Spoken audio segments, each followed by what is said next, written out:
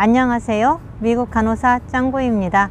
오늘은 제가 그 장기 적출, 장기 기증하는 수술에 들어갔어요. 이게 저희가 자주 있는 수술은 아니에요. 제가 저희 병원에서 16년 가까이 일을 하고 있는데 이게 한 네 번째인 것 같아요. 총 장기 기증하는 수술에 들어갔던 게요. 어, 저희가 장기, 누군가가 장기 기증을 하고 장기 적출술을 시행을 할 때 이제 원 레가시라고 하는 컴퍼니에서 코디네이터가 와가지고 이제 모든 절차를 담당을 하는데 수술실에서 무엇을 준비를 해야 되는지에 대해서 또 이제 알려줘요. 저희가 자주 하는 수술이 아니다 보니까 아무래도 자세하게 할 수 있는 게 없잖아요. 그래서 이제 그분들이 알려주는 대로 저희가 따라서 하고요. 수술실 간호사로서 중요하게 봐야 되는 부분은 이제 당연히 수술 동의서가 가족들에 의해서 사인이 되어 있는지 보는 것이고 그 두 번째로 볼 수 있는 게 그 두 명의 의사에 의해서 뇌사 판정이 진단되었는지 그걸 보는 거예요. 이게 어, 굉장히 중요한 부분이잖아요. 그러다 보니까 일말의 오차를 없게 하기 위한 방법이고요. 이제 우리나라 사람들이 장기 기증을 잘 안 한다라는 얘기가 있잖아요. 근데 몇 년 전에 우리나라 경기가 굉장히 좋지 않을 때 기사에 이런 게 났어요. 이제 요즘에 장기 기증하는 사람들의 수가 많이 늘었다. 이유가 경기가 안 좋다 보니까 경제적으로 어려움을 겪는 분들이 장례비라든가 병원비를 병원에서 그거를 부담을 했는가 보죠. 그러다 보니까 이제 환자분은 그거를 걱정 안 해도 되는 거예요.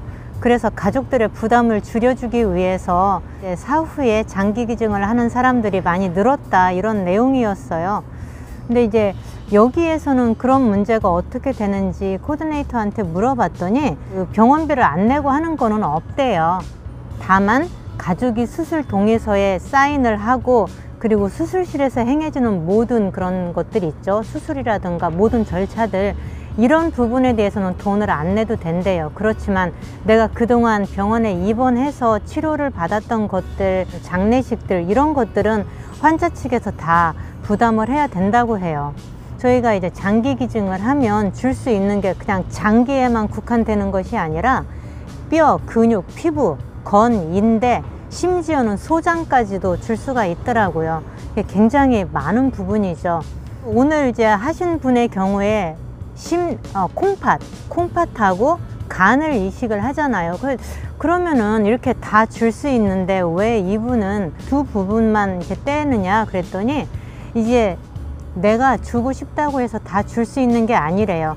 이 어, 장기 기증을 하기 전, 장기 기증을 하고 장기 적출을 하기 전에 모든 이제 검사를 또 다 마칠 거 아니에요? 어, 검사를 했는데 수치상으로 quality가 좋지 않은 경우에는 장기를 주고 싶어도 줄 수 없다고 하네요. 저희가 생각하기로 에이즈 환자는 장기 기증을 못할 것 같잖아요. 근데 장기 기증이 가능해요. 같은 이제 질병을 앓고 있는 분에게 이제 장기 기증을 할 수가 있대요. 그래서 에이즈 환자라 하더라도 다른 에이즈를 갖고 있는 에이즈에 걸린 환자에게 이제 줄 수가 있고 자가 면역 질환 있는 분들 이렇게 다 줄 수 있고 그런데 안 되는 경우가 있대요. 안 되는 경우가 어, 이분은 두 가지로 얘기를 하더라고요. 하나는 B형 간염인 경우에는 장기 기증이 안 된다고 하네요. 그리고 두 번째는 80세 이상 안 된대요. 그래서 이제 그것도 이제 80세 이상인 경우에는 그, 그 퀄리티의 그 상태가 별로 좋지 않기 때문에 그런 거 아닌가라는 생각을 해요. 저도 이제 장기 기증에 서명을 했어요. 그래서 제 운전면허증에 보면 분홍색 동그라미가 이렇게 쳐져 있는데 저는 어, 80, 요즘에 이제 평균 수명이 길어졌잖아요. 그래서 80세 이전에 죽고 싶은 생각은 없거든요. 그렇다면 장기 기증을 해야 된다라고 하면 그 이전에 이렇게 어떻게 돼야 되는데 일찍 죽고 싶진 않고요.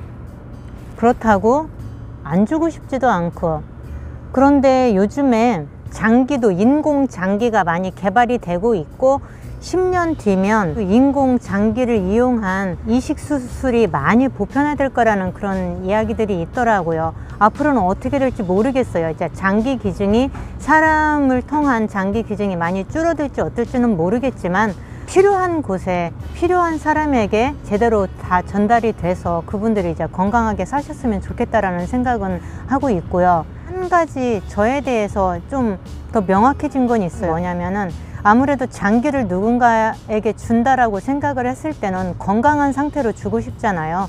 그러다 보니까 뭐 술, 담배 안 하고 제 몸을 좀 건강하게 유지하려고 하는 그런 생각을 항상 하고 있어요. 그래서 요- 어떻게 보면 저도 예상치 못한 상황에 처해져서 뭐 장기 기증을 80세 이전에 해야 될 수도 있지만 또 그게 아니다 하더라도 제 몸을 건강하게 유지하는 거잖아요. 그래서 이래저래 좋다라는 생각을 하고 있습니다. 앞으로 인공 장기가 많이 개발이 되어서 보편화되어서 그거를 통해서 이제 많은 분들이 그런 혜택을 받을지 아니면은 사람의 장기 기증을 통해서 혜택을 받을지는 모르지만 많은 분들이 자기 몸을 건강하게 유지하셨으면 좋겠고 또 불의의 사고를 통해서도 이런 장기가 필요한 경우가 있잖아요.